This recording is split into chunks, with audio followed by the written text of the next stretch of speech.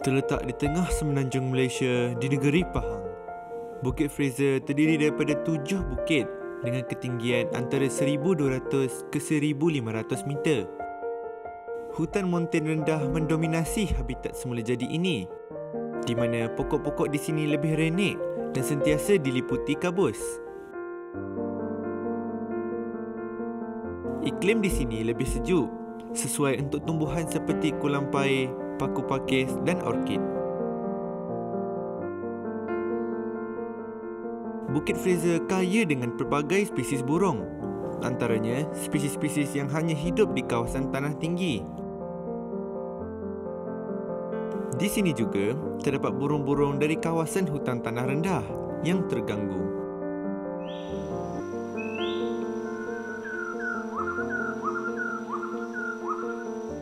Tambahan lagi, Bukit Fraser terletak di tengah-tengah laluan burung migrasi yang berhijrah setiap tahun ke Malaysia untuk menghindari musim sejuk di utara Asia.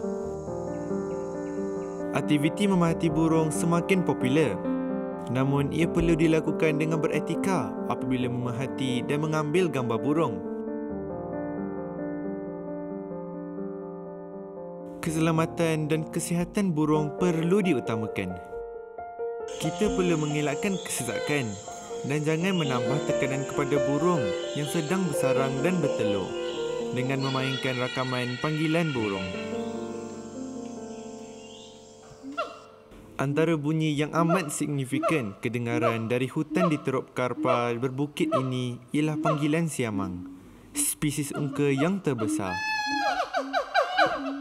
Siamang mempunyai kantung di bahagian tekak yang akan mengembang hampir sebesar kepalanya dan ini membantu menguatkan bunyi panggilan.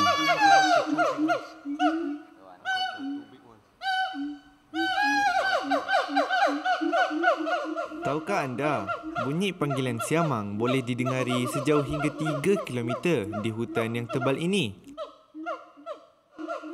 Siamang hidup dalam kumpulan keluarga yang kecil dan setiap kumpulan mempunyai kawasan tersendiri di dalam hutan. Terdapat satu lagi spesies primat yang sering kelihatan di Bukit Fraser. Lotong ceneka puha putih. Ia aktif di siang hari dan diet pemakanannya terdiri daripada pucuk daun, buah-buahan, biji benih dan bunga. Di Bukit Fraser, terdapat subspesies cicak jari bengkok yang hanya boleh dijumpai di sini.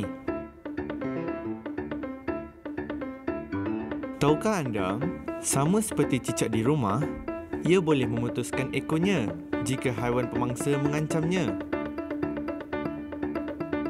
Kebanyakan haiwan reptilia boleh menyamar untuk melindungi diri daripada haiwan pemangsa.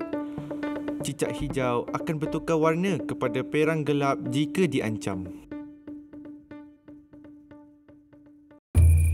Terdapat spesies tarantula yang boleh dijumpai di Bukit Fraser. Walaupun ia mempunyai penglihatan yang kurang baik, ini tidak menghalangnya menjadi pemburu yang digeruni Laba-laba perangkap tinggal di dalam lubang yang bertutup dengan benang-benang sutera yang menjala dari lubang tersebut. Apabila ia merasa getaran pada benang ini, ia akan menyerang mangsa dengan amat pantas. Tahukah anda, ekologinya tidak berubah sejak lebih dari 300 juta tahun dahulu sehingga ke hari ini. Ia kini terancam akibat perdagangan hidupan liar sebagai haiwan peliharaan dan kemusnahan habitat. Bukit Fraser menjadi sebuah santuari perlindungan untuk pelbagai spesies flora dan fauna.